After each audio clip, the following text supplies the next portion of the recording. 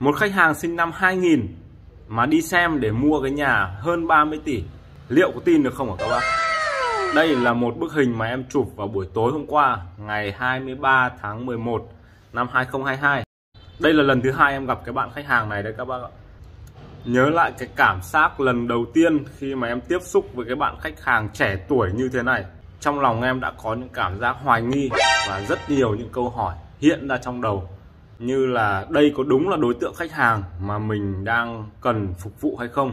Và liệu khách hàng trẻ tuổi như thế này thì liệu có đáp ứng được về mặt năng lực tài chính hay không?